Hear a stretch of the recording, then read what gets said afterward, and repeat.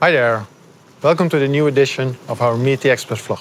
My name is Sven Platschorre and I'm Commercial Solution Manager for airports at Vanderlande.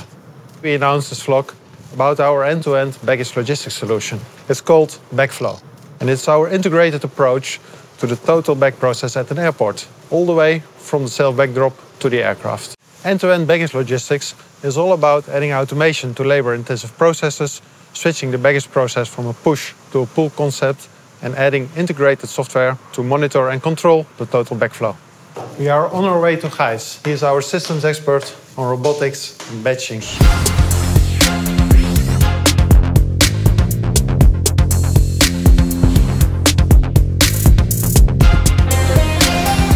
Hey Gijs. Hey Sven. Good to see you. We received a lot of questions about our end-to-end approach, and I hope you can help me to answer them. But can you first explain a little bit more about the end-to-end and how it works in practice?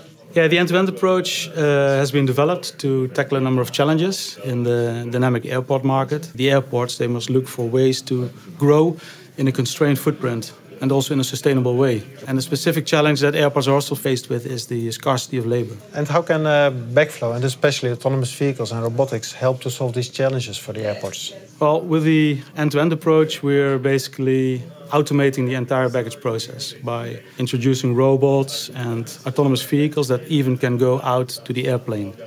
And how do the airports feel about that, adding the robotics and especially the autonomous vehicles to the apron? Well, by talking to our key customers, we knew that they are looking at the bigger picture.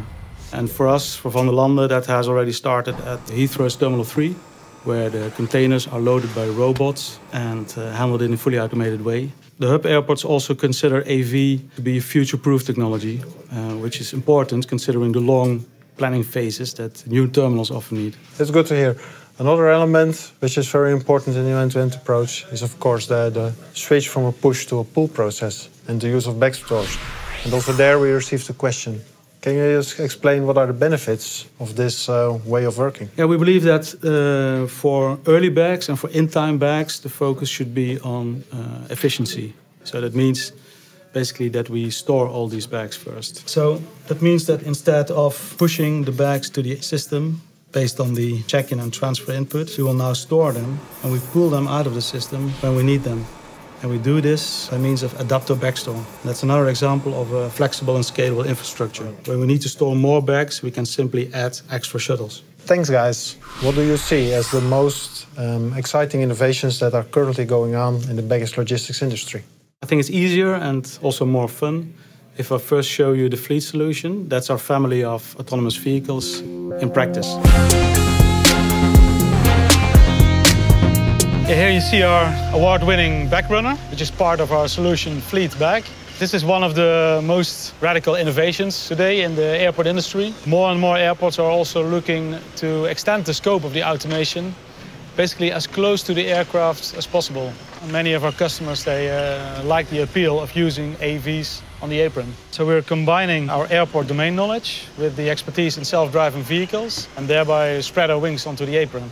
AVs are just one example of innovative robotic solutions at airports. In general, we believe that uh, robots can reduce the operational cost and uh, improve the productivity, uh, both per square meter and per employee, and also eliminate the heavy lifting.